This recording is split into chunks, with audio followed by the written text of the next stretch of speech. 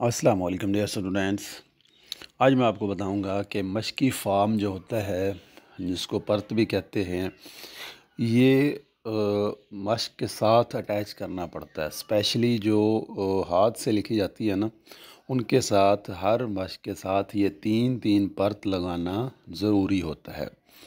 और आप जब अपनी मश्क जैसे मैट्रिक कैफ़े है या बीए का कोई सब्जेक्ट है, इवन के जो एमए के हाथ से लिखे जाते हैं ना सब्जेक्ट, जैसे उर्दू है अरबिक है और बाकी हैं तो उनके साथ भी आप ये अटैच करेंगे।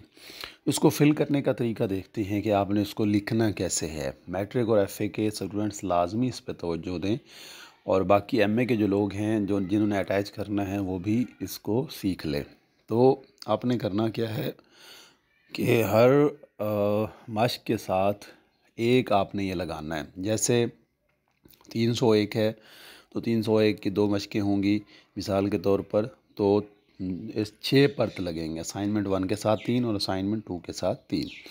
फिल करने का तरीका ये है कि सबसे पहले आपने नाम लिखना है स्टूडेंट का तालब इल्म का नाम लिखना है, और नाम मुकम्मल लिखना है जो आपका वहाँ पे रजिस्टर है। उसके साथ आपने स्टूडेंट की आईडी लिखनी है। रजिस्ट्रेशन नंबर लिखना है। पहले यहाँ पे रूल नंबर होता था, अब यहाँ पे रजिस्ट्रेशन नंबर है। और उसके बाद आपने यहाँ पे मुकम्मल पता लिखना है। यानी जो पोस्टल एड्रेस है, जिस पे डाक के ज़रिए जो है ना आपको ख़त मौसू होते हैं, रिज़ल्ट या रूल नंबर स्लिप वगैरह मौसू होते हैं, वो आपने यहाँ पे मुकम्मल पता लिखना है।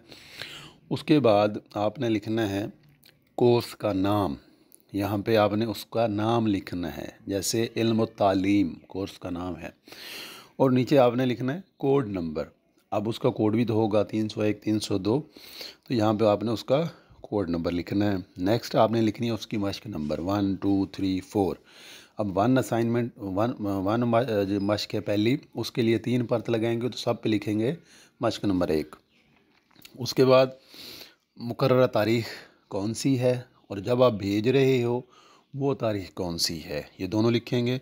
उसके बाद स्टूडेंट के सिग्नेचर स्टूडेंट के दस्खत अच्छा ये ट्यूटर वाली जो साइड है, उसमें आपने पहले लिखना है ट्यूटर का नाम। ट्यूटर का, जो आपका ट्यूटर है, उसका मुकम्मल पता। और उसके बाद लिखना है, सेमेस्टर कौन सा है, बहार या ख़िज़ा? ठीक है?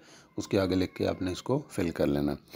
और उसके बाद जो नीचे वाला पोर्शन है, ये ट्यूटर्स के लिए है कि उनका मुतालियाती मरकज़ क्या है, ज़िला कौन सा है, मश्क कब उन्होंने वसूल की है, और उसके बाद सवाल जितने भी हैं, मिसाल के तौर पर बारह सवाल हैं, दस हैं, पाँच हैं तो फिर उनके जो नंबरिंग करेंगे, वो इधर ही लिखेंगे। लिखने के बाद नीचे हासिल करता या कुल नंबर ट्यूटर की राय है सिग्नेचर है और तारीख़ वापसी। तो ये जो है वापस जब आपको भेजेंगे तो उसमें मतलब ये सारी चीज़ें आपके पास होंगी। और इस फार्म की ओरिजिनल नहीं आता आपके पास तो इसकी फ़ोटो कापी भी आप करा के यूज़ कर सकते हो। उम्मीद है कि आपको ये फॉर्म फिल करने का तरीका आ गया होगा। मज़ीद अगर आपको इस चीज़ में कोई समझ नहीं आती तो कमेंट बॉक्स में आप पूछ सकते हैं। मिलते हैं अगले किसी अच्छे से टॉपिक के साथ। तब तक अल्लाह हाफिज़।